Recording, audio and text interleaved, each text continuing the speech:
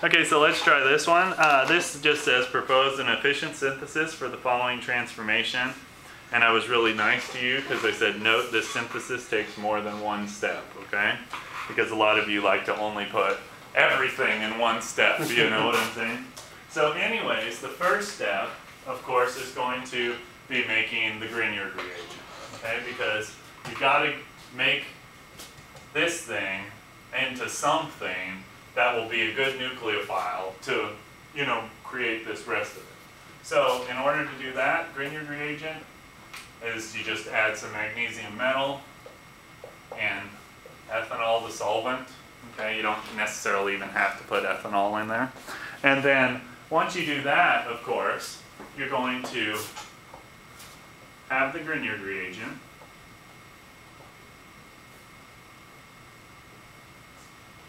Very good nucleophile, right? Because if you recall, like that, carbanion, right, effectively, right? Um, so the second step is going to be, well, let's write this as the first step over here. So the next step is you want to add that carbonyl group, right? So in order to do that, remember just add carbon dioxide, okay? And that'll give you the carboxylate anion.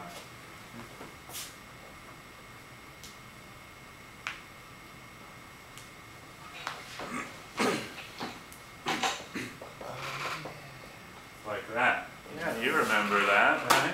That's that, that's how to add, you know. I did those a couple times the other day. Did you put dry ice? Remember we talked, I think, about talked this one. about that, or bubbling it. Uh-huh. But I just did that mechanism a few times the other day. Okay, so that, right? Um, but we're still not there yet, right? Uh, we actually should have protonated this afterwards.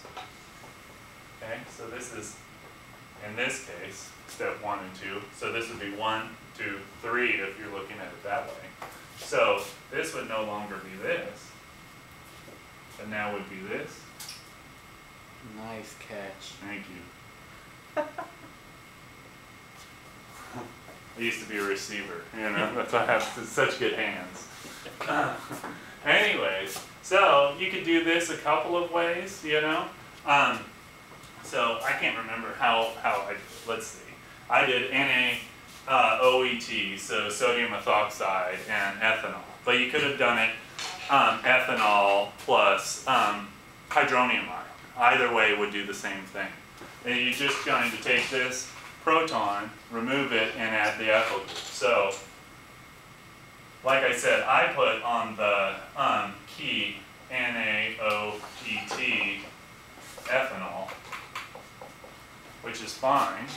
Or you could have done it the other way, doing ethanol and H3O plus or H2SO4 or something like that, catalytic. Either one of those will give you that product. So you'd be and then it's just the strong base. Do you want to go over that mechanism? Sure. Let's Actually, no, I'd rather do the CO2 one.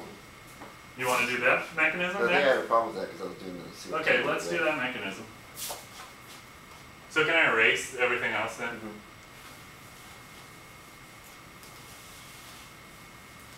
So we're looking at this, and we want to draw a mechanism for it.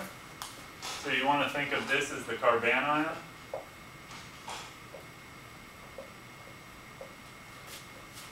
And you've got CO2.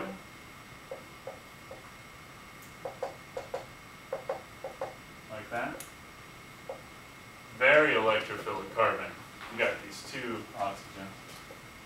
And knock one of them off. Okay, And then. Yep. See, you didn't even need me to teach you that mechanism. Since I taught you before. And of course, you still got that MgBr to be the counter ion there. And then, like you said, H3O plus it, and then that'll